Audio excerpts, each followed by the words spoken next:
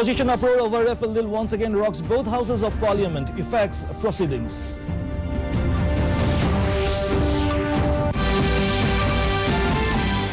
Releasing strategy for New India at 75 document, finance minister says reforms and entrepreneurship have to be accompanied by social consciousness.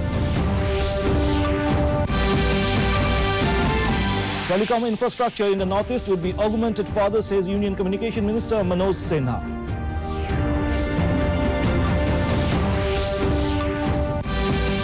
ISRO adds another feather in its cap by launching the 35th Indian communication satellite GSAT-7A by its fourth generation launch vehicle GSLV F-11.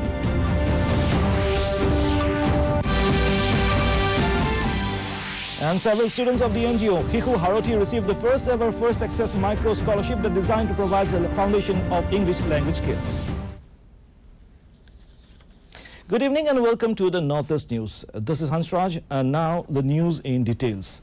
The uproar by the opposition over the Rafale aircraft deal and other issues again rocked Parliament today. The Rajya Sabha was adjourned for the day and the Lok Sabha till 2 p.m. As soon as the Rajya Sabha met for the day, Congress members raked up uh, Rafale yet against and rushed to the well, displaying placards in support of their demand for a joint parliamentary committee probe into the deal. Minister of State for Parliamentary Affairs Vijay Goel accused the Congress of disrupting proceedings, adding that the government is ready for a discussion on Rafale. Parliamentary Affairs Minister Narendra Singh Tomar rejected the demand of JPC probe. He, however, assured that the government is ready for a detailed discussion on the issue. He said the Apex Court has cleared all the uh, air over the deal amidst the continued noisy since Speaker Sumitra Mahajan tried to run the zero hour but in vain. Later she adjourned the House till 2 p.m. Members uh, holding placards also.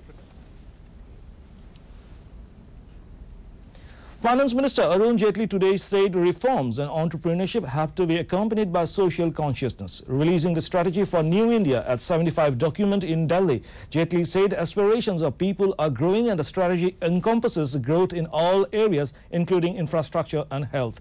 The Finance Minister stressed on sound policies to get the economy on track. Jaitley said determining the strategy for New India will give an idea of where India stands. He said it was about time that the agenda for India for the years and decades to come was laid down. Speaking on the occasion, Niti Aayog Vice Chairman Rajiv Kumar said segments in the strategy document include governance, infrastructure and inclusion. Agriculture is a major focus area with strategies to double farmers' income. So the aspirations are growing, people are becoming more impatient, they want things to happen faster. And therefore, if you look at the various uh, verticals in which uh, the Niti Aayog's proposal for a strategy for new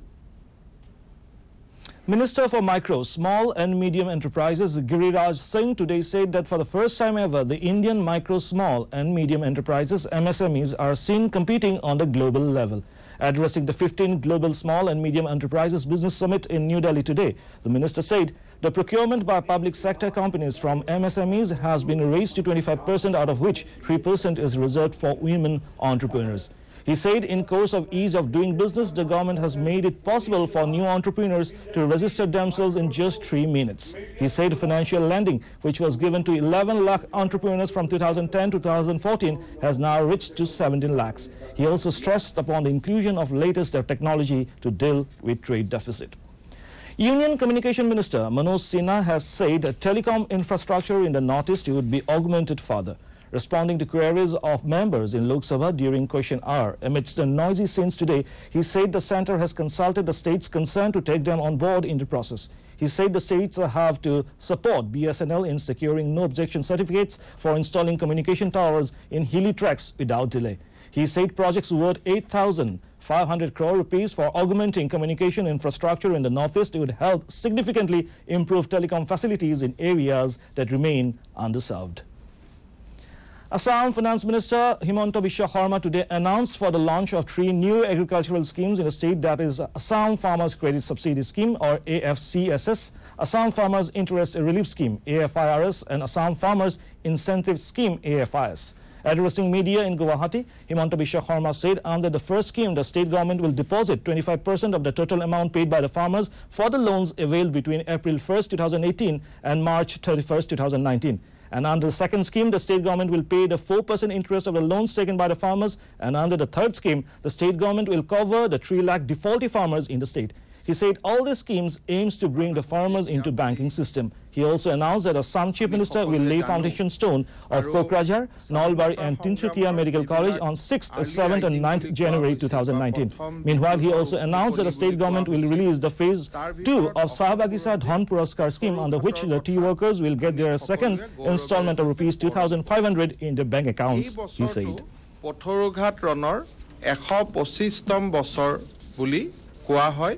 যে ওঠৰশ চৌৰান্নব্বৈ চনৰ পিছত আমি যেতিয়া দুহেজাৰ ওঠৰ ঊনৈছৰ কথা পাতোঁ Aiming to give boost to startup initiative of the central government and generate awareness on entrepreneurship development, FICCI Northeast Advisory Council is holding series of workshops billed as Enterprise Northeast in Northeast states.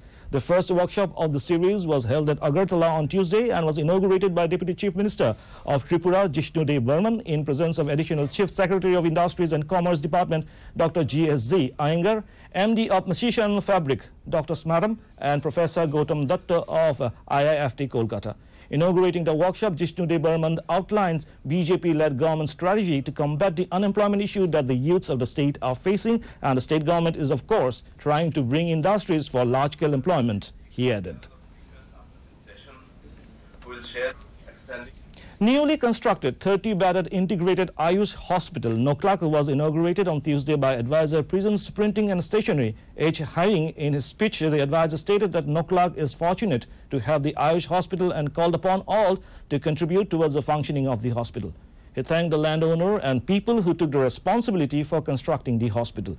He further requested the department to facilitate all materials required for the hospital and staff to serve the needy people. The program was chaired by Dr. S. John. Jawaharlal Nehru Institute of Medical Sciences, JNIMS, observed its 11th Foundation Day on Tuesday. Speaking in the event, Chief Minister N. Biren Singh disclosed that arrangements are being made for Prime Minister Narendra Modi to lay foundation stone at three different sites for improving the infrastructure of JNIMS during his expected visit on January 4th next year. He stated that the government is making all-out efforts to upgrade JNIMS to the level of AIIMS.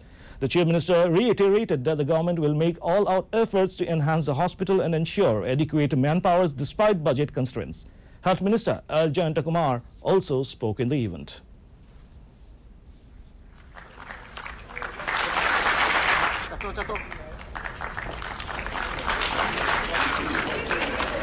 and also secured honors in my. Thank you, sir. Yes. GSLV F-11 carrying GSAT-7A was launched at the Satish Dhawan Space Center, Sriharikota today at 10 minutes past 4 p.m. GSLV F-11 is ISRO's fourth generation launch vehicle with three stages. Regarding the satellite, GSAT-7A is the 35th Indian communication satellite built by ISRO and is built to provide communication capability to the users in KU band over the Indian region. GSAT-7A will be the last satellite to be launched by ISRO for this year. With a lifespan of eight years, the satellite will be used in collection data over the Indian region. The satellite is said to enable the Indian Air Force to link its ground radar stations, its air bases, and airborne early warning and control system airplanes. This is the second communication satellite for the Defense Forces. The first one was Rukmini, which was launched in 2013 for use by Indian Navy.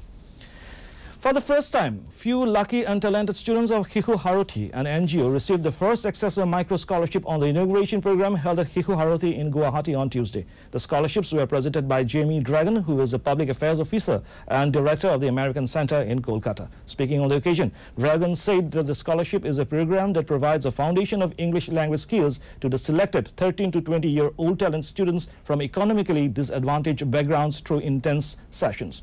He also added that the program equips the students with strong English language skills that can lead to better jobs, education opportunities, and gain ability to participate in and compete for future exchanges and study in the United States. The English Access Micro Scholarship is a two-year global scholarship program supported by the U.S. Department of State.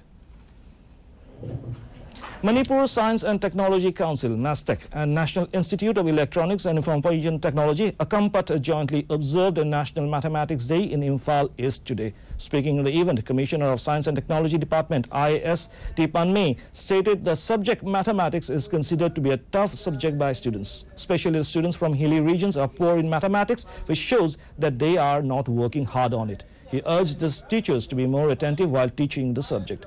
Executive Director of uh, NIELIT, Akampat uh, T.H. Parmeshwar, Director of MASTEC, T.H. Surendranath, and many eminent persons stressed on the various topics of mathematics. Tripura Education Minister Ratanlal Nath on Tuesday admitted that the state is lagging behind when it comes to education in spite of having talented students. There is no doubt of quality students, but the state is not doing well in the education when compared to other states. To address the problem, the government has decided to introduce an ART curriculum from next academic session, he said, while speaking at an educational workshop at Agartala. The training of teachers will start from January next as they need to be acquainted with the new syllabus of NCERT, he said. The minister said that translations and publishing of books in NCERT format have already been completed and ready for distribution. Resource persons from NCERT and officials of State Education Department joined the workshop. In Manipur, four state police personnel who were recently charge-sheeted by Special Investigation Team SIT of CBI in connection with an alleged fake encounter case were surrounded today before the Chief Judicial Magistrate in Far East. They are identified as then Head Constable Mohammad Shaukat Ali and then Constables Thiam Brojen, Mohammad Wahajuddin Khan and Mohammad Anwar Hussain. Uh, it was reported that the team had allegedly killed one Soram Ranjit at Hata Golapati during February 16, 2008 and a charge sheet was submitted on December 6 by CBI in connection with the alleged killing before the court. Assam Tourism Minister Chandan Brahma announced that the third edition of the 12-day Dwijing Festival will kickstart from 27 December and continue till 7th January 2019. He was addressing the media at Guwahati on Tuesday. Brahma also released the festival logo. More than 15 lakh tourists are expected this year during this festival, said the tourism minister. The main aim of the Dwijing festival is to uh, promote river tourism the, in the rural areas of BTC and the state. Assam Tourism Development Corporation Chairman Jayanta Malla Baruah also spoke in the press meet. And before winding up, the headlines once again. Opposition uproar over Rafale deal once again rocks both the houses of parliament, affects proceedings.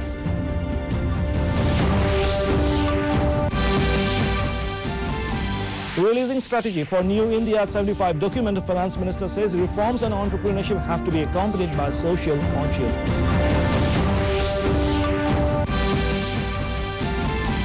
Telecom infrastructure in the Northeast would be augmented further, says Union Communication Minister Manoj Sinha.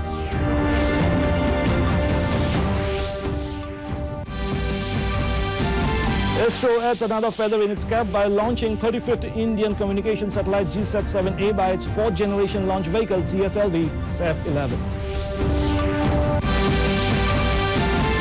And several students of the NGO Kiku Harati received the first ever First Access Micro Scholarship that is designed to provide foundation of English language skills. And that brings us to the end of this evening's bulletin. Thank you for tuning in. Namaskar.